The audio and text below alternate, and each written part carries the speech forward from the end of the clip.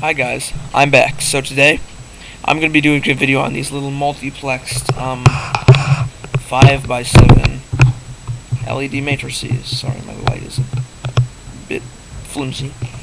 Anyway, so as you can see, here, um, we have 5, 5 uh, rows by 7 columns. And right now I don't have a second breadboard, so I'm, I can only control this amount of space here. I can't actually utilize it. But anyway, um, you'll find the displays are pretty useful. I mean, that's, um, and it's also pretty cool because it does not matter which way you plug them in. You see right there, it's working the same exact way. So, um, anyway, if we change it to my other view here, um, essentially what I have is I just have each. Um, so wait, the way this one works is that the um these rows here. Sorry, I get rows and columns confused a lot. The rows are negative, and the columns are positive. So, um, so the way that works is I just have a resistor hooked up in the negative rows to just a uh, mega digital pin, and I have the columns hooked up just directly to a mega um, digital pin again. Um, but in my final design, what I'm going to do is I'm going to take this, put it with a temperature sensor, and use some shift registers and a regular 328. Um, but so yeah, so that's going to be the final design. Anyway, as you can see here, it's pretty hard to see, but what we have is we have a square. It gets eaten up by the next color, so that's all green. Green's getting eaten up by red, and yellow's getting eaten up by green, and so on. And then it just goes on forever. This is a pretty standard demo. But anyway, it was pretty easy to implement. Um, the only thing is just to watch out for here is that mega pins, and I'm pretty sure on all Arduinos, automatically go low, which is going to mess up because when you're um, uh, which one is low? One side. Okay, um, these um rows here, these are negative. So if your row is automatically negatively uh, gone, and then you conduct that column, if you purposely make that one low, but you don't want either of these to be, and you conduct for this column, you're going to get all three lighting up because of the fact that um, they are all going to be low unless you set them high. So you have to set everything high otherwise. Just a disadvantage of using the mega pins directly instead of hooking them up through transistors. You can just use a standard um, 3 nanofort to do that. It's pretty simple just to couple it to ground. But anyway, we'll be going to, into the design here. Okay, so here you've seen enough of that design. We can switch to my little notes here on this stuff. Um, this camera. Buttons are so nice. Anyway, you can see here, this is my little diagram. Okay, so we have the display, and we have each of the dots.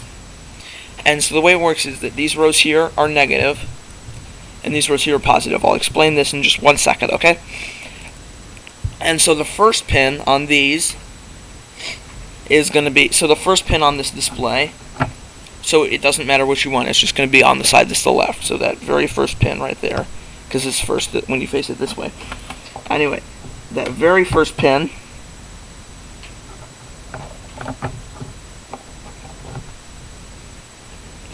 Okay, so, sorry. That very first pin is going to control the negative for this whole row.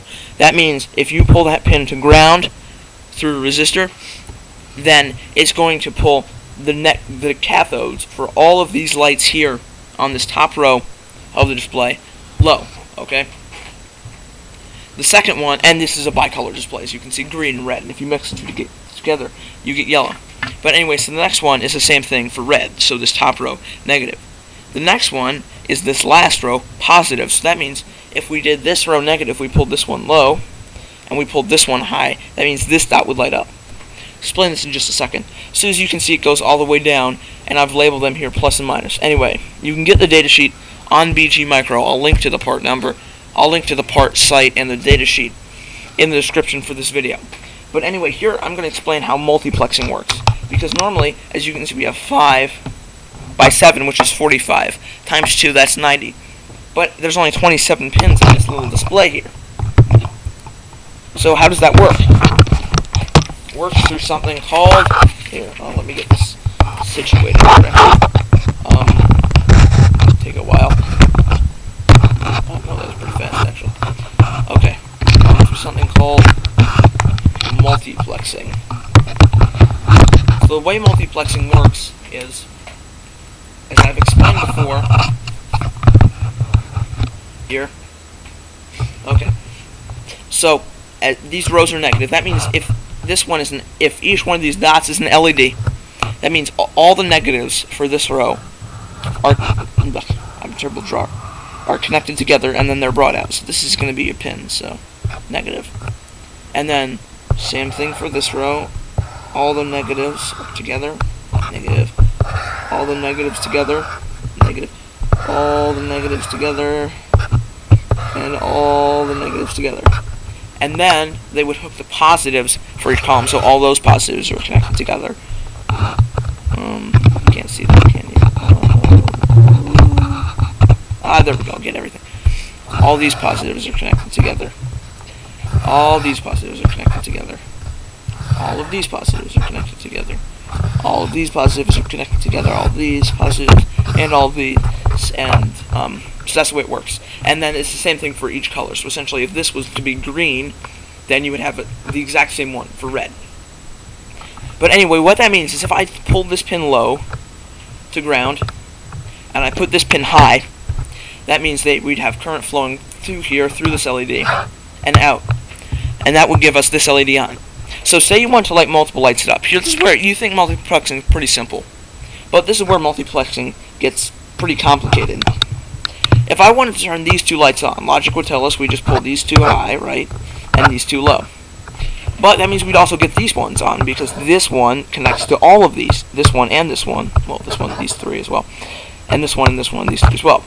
And uh, this these two. So that means we would have current flowing through these two and these two. And that would light all four of them on.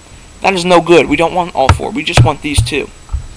So what you do is you light this one up, then you turn everything off, and then you light this one on. And you're saying, won't that create a flicker? Well, no, it won't, because if you light them up thousands of times every second, you light this one up, and then you delay a millisecond, and then you leave everything off a millisecond, turn this one on, it's going to appear pretty solid. As you can see here, it's the same as this display. Is that only one's on at a time? Well, not, not really. If you look at the code, actually, what I do is these rows are on, and then these, okay, these rows, nothing, these two, nothing, and then the center two. But they all look on at the same time, pretty much, um, except for you can tell the added brightness uh, in the in in these two because they're on uh, for they have more current to actually uh, the pins can give more current because Arduino pins have a um, a limited current they can give. But anyway, that's how you multiplex. So yeah, I could turn this whole row on. So if I turn this row on and this row on, and I wanted to light only these ones, like these outer three, in this row, but I wanted to light all of them in this row, you would have to do the outer three in this row, nothing, all of them in this row.